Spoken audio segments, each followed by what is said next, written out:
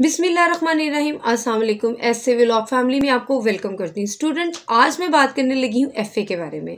बहुत से लोगों का ख्याल है कि एफ़ए की कोई अहमियत नहीं है, इसके बाद कोई स्कोप नहीं है, इसका कोई फ्यूचर नहीं है। जो लोग भी ये कहते हैं, वो बिल्कुल गलत कहते हैं। इस बात में कोई शक नहीं कि F S C pre medical pre engineering I और आई से एफ़ ए का मेरिट कम होता है। लेकिन जितना इसका मेरिट कम होता है, इसका स्कोप इतना कम नहीं है। इसका इंसार करता है आपकी सब्जेक्ट सिलेक्शन पर।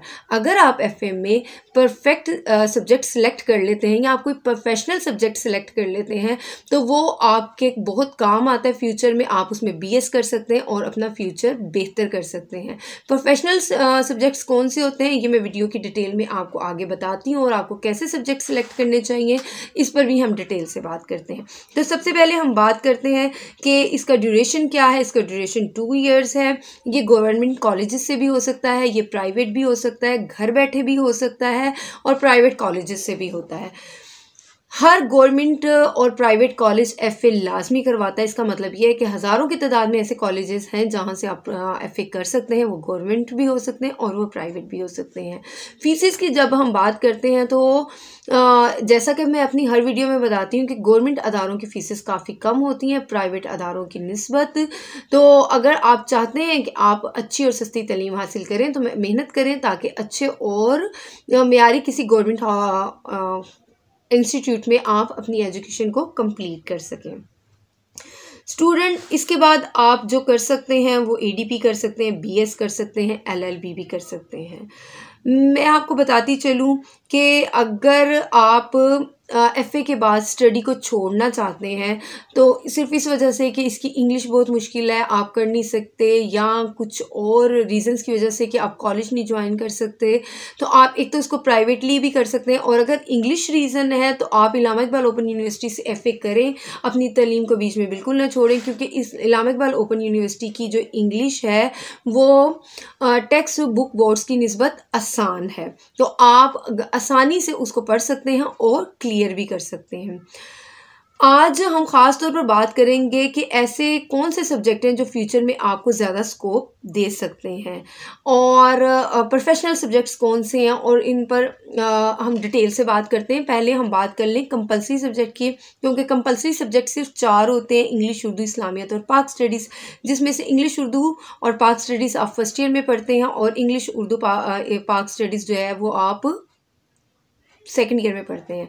इस्लामियत आपने फ़र्स्ट ईयर में पढ़नी है और पाक स्टडीज़ आपने सेकेंड ईयर में पढ़नी है। इंग्लिश उर्दू आप फ़र्स्ट ईयर सेकेंड ईयर दोनों में पढ़ते हैं। इसके अलावा आपने जो सब्जेक्ट सिलेक्ट करने हैं, उसमें लैंग्वेजेस होती हैं। लैंग्वेजेस में English literature French Urdu advance Persian Punjabi Sindhi और अरबिक होती है। आप सोशियोलॉजी पढ़ सकते हैं, जिसके बाद आप एन में काम कर सकते हैं। आप स्विक्स पढ़ सकते हैं, जिसके बाद आप एलएलबी की तरफ़ जा सकते हैं। आप फ़िलोसफी भी पढ़ सकते हैं। स्टूडेंट्स, यहाँ पर मैं फिर एक दफ़ा आपको बताती चली जाऊँ कि कुछ कॉलेजेस में ग्रुपिंग का तरीका होता है, उसमें आपके जो सब्जेक्ट्स हैं वो तीन हिस्सों में डिवाइड कर दिए गए होते हैं ए बी और सी कुछ सब्जेक्ट उन्होंने ए में लिखे होते हैं, कुछ बी में लिखे होते हैं, कुछ सी में लिखे होते हैं, और आपने अपनी मर्ज़ी से हर ग्रुप में से एक एक सब्जेक्ट उठाना होता है, और आपका तीन का एक पेयर बन जाता है। लेकिन कुछ कॉलेजेस में तीन के पेयर्स ऑलरेडी उन्होंने खुद बनाए होते हैं। आपको एक पेयर सेलेक्ट करना पड़ता है, जिनमें तीन सब्जेक्ट उन्होंने दिए होते हैं।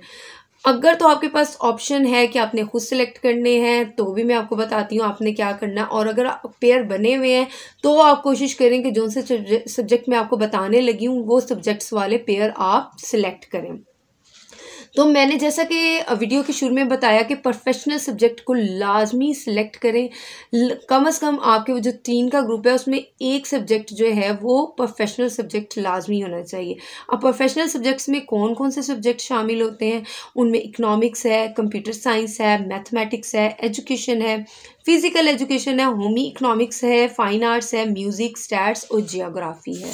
तो स्टूडेंट्स ये थे प्रोफेशनल सब्जेक्ट जो कि आपको लाजमी सिलेक्ट करने हैं जब आपने अपने एफए के सब्जेक्ट के इलेक्टिव सब्जेक्ट को सिलेक्ट करना है। ऐसे स्टूडेंट्स जो फ्यूचर में सी एस एस का इम्तिहान देना चाहते हैं। तो उनके लिए मैं सजेस्ट करूँगी कि वो इनमें से कोई सब्जेक्ट जो हैं वो ज़रूर सेलेक्ट करें, जो कि आगे उन्हें सी एस एस करने में भी मदद देंगे। ये कौन से सब्जेक्ट हैं? ये हैं civics Indo Pak history Islamic history world history mathematics और इंग्लिश लिटरेचर तो ये वो सब्जेक्ट हैं जो फ्यूचर में सी एस एस का इम्तिहान देने वाले स्टूडेंट सेलेक्ट कर सकते हैं। स्टूडेंट्स, इसके साथ साथ मैं आपको बताती चलूँ, अगर आप एफ़ ए के फौरी बाद गवर्नमेंट जॉब चाहते हैं कि आपको मिल जाए तो आपको चाहिए ड्यूरेशन एफ़ ए या एफ़ ए के बाद आप छः माह का शॉर्ट हैंड और टाइपिंग कोर्स ज़रूर कर लें। अगर तो आप अपनी स्टडी के साथ साथ इसको कर लेते हैं तो जैसे ही आप अपना एफ़ ए कंप्लीट करेंगे और उसके बाद जो जॉब्स आती हैं, इसकी जॉब्स तकरीबन हर महीने आती हैं, हर महीने नहीं तो दूसरे से तीसरे महीने इसकी कोई ना कोई जॉब आती है स्टेनोग्राफर की तो आप उसके लिए अप्लाई कर सकते हैं और मुझे उम्मीद है कि आप उसमें सिलेक्ट भी हो जाएँगे।